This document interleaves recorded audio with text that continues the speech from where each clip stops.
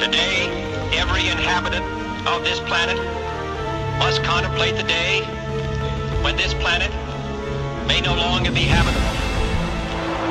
The weapons of war must be abolished before they abolish us.